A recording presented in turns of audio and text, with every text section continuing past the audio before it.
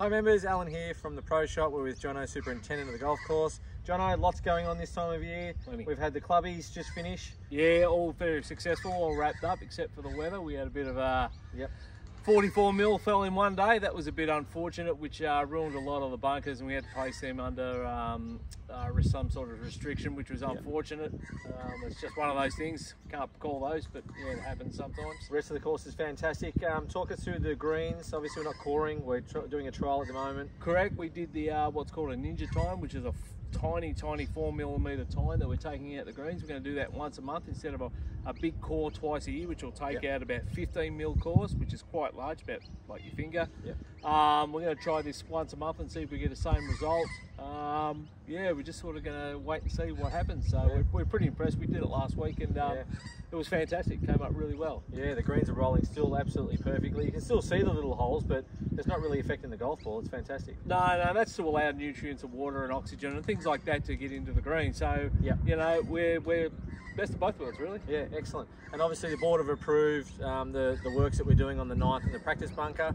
What's the sort of timeline on that sort of stuff happening? Look, we're allowing two to three weeks. We're hoping it's going to be a little bit shorter. There's always a variable, weather and things like that, turf and things like that. Things can always change minorly, not Yeah. too major. Yeah. So yeah, they've, they've busted out the uh, the chipping green already, which has come out fantastic. The chipping Yeah. green bunker, sorry.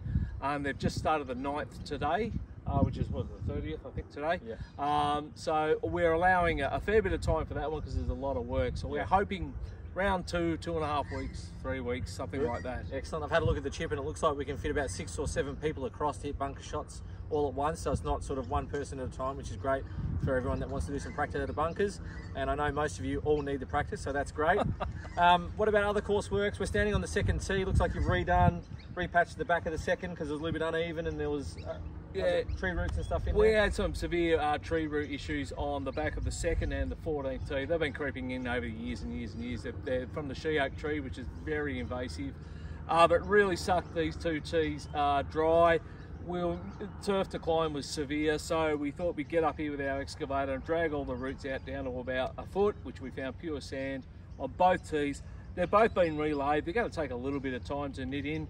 Um, but yeah, they're good as gold now. They're like a beer table at the minute, so they should be great uh, for future board events and um, any events on the on the back tees. Excellent. Any other turfing areas at the moment? Because it is growing season. That's why you do it this time of year. That's that's exactly right. Yeah. We've, we've got a, an area in front of the fifth new bunkers that we did that went a bit sour over winter, got a bit saturated and rotted a little bit. So we're going to uh, returf that. Uh, the pinch point, um, what I call the pinch point on the 11th to the 12th, where everybody goes. It just compacts and, and things like that. So that's always going to get worn out. Again, we'll probably do that in a couple of years' time. That's just going to be a, a thing we're just going to have to continue on. There are a couple of other turfing areas, like a bit near on from the 16th green to the 17th tees and things like that. There, you'll see uh, various amounts of works going on, just mainly turf, lane turf, and Yep. things like that.